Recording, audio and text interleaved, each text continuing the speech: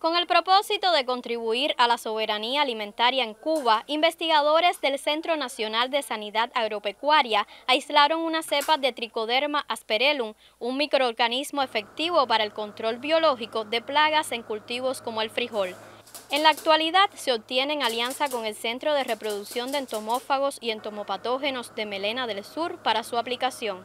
La cepa que actualmente se está produciendo en los CRE fue una cepa que se, fue seleccionada de la colección de 59 aislamentos de tricoderma, producto de que ella tiene varias características y varias bondades. Los campesinos siembran mucho tomate, siembran ajo, siembran cebolla, siembran frijol y es muy importante su aplicación para erradicar el fusario en todos estos, todos estos cultivos que le, que le he explicado. Este producto, amigable con el medio ambiente, manifiesta también un efecto estimulante en las plantas y es aceptado por productores del territorio. Uno de los beneficios que me ha dado la tricoderma es a la hora de la siembra la desinfección de la semilla de la malanga en este caso y una aplicación que nosotros le hacemos de fondo antes de poner la semilla. Hay enfermedades que atacan al, suelo, eh, que están en el grupo de los fusarios y demás, a la raíz de la planta del frijol y esto nos ayuda. El creciente daño ambiental generado por el uso de sustancias químicas y los altos costos de fertilizantes y plaguicidas motivan el uso de medios biológicos,